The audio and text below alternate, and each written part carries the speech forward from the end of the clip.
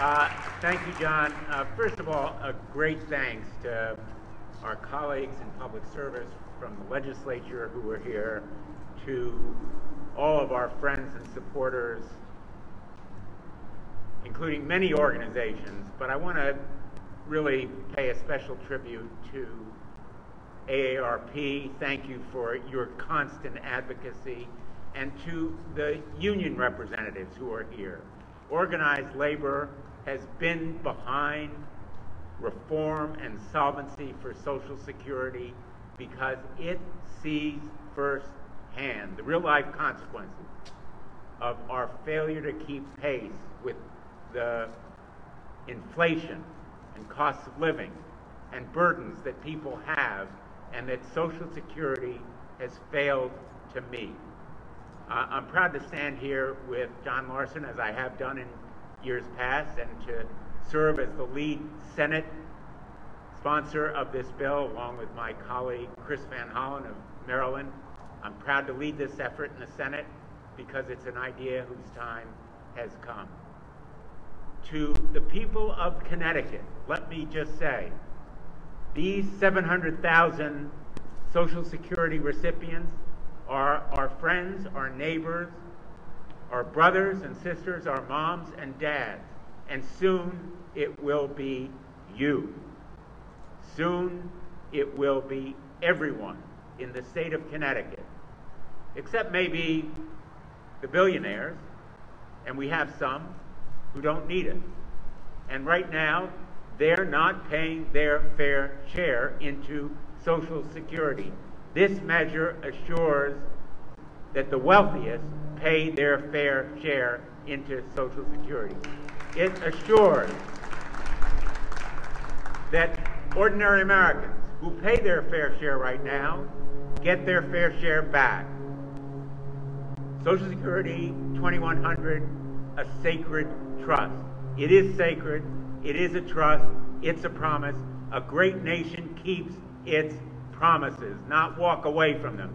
America should keep its promise to Social Security recipients.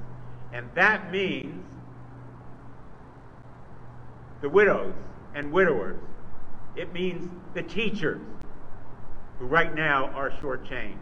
It means the caregivers who get no credit when they take care of their parents, for example, or people who may be disabled. They are shortchanged under the current system. And it means recognizing that our seniors have a different cost of living. They pay more for certain kinds of food, certain kinds of housing, certain kinds of prescription drugs. The cost of living adjustment has to keep pace with inflation as it affects seniors. Now, I think we have a rare opportunity in this session of Congress. It's an opportunity that has to be seized because we may not have it forever. Let's be real. We have a president in the White House who is committed to this bill and its goals. We have two houses of Congress that are committed to this bill and its goals. We need to do it now, not wait, now. And that's why this coalition is so tremendously important. We need to make our voices and faces heard and seen in Washington, D.C. We announced this bill last week in the House and the Senate. We need to take it forward with the ferocity and the eloquence that John Larson has done for literally more than a decade. He has been a champion of this bill through good times and bad politically. He has never wavered. I've been proud to be at his side because we know in Connecticut the difference that it will make. If you talk to your friends and neighbors, you know Social Security is the major force to keep children out of poverty.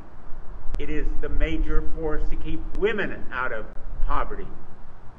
And it helps our veterans and so many others. Its ripple effect throughout the economy, particularly as we recover from the pandemic effects of the downturn that we suffered here in Connecticut is going to be just a major force for everyone's recovery. So we are all better off when we are all better off.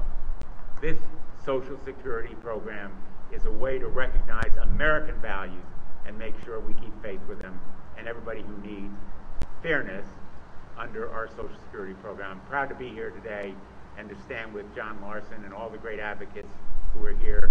We're going to get it done with your help. Thank you.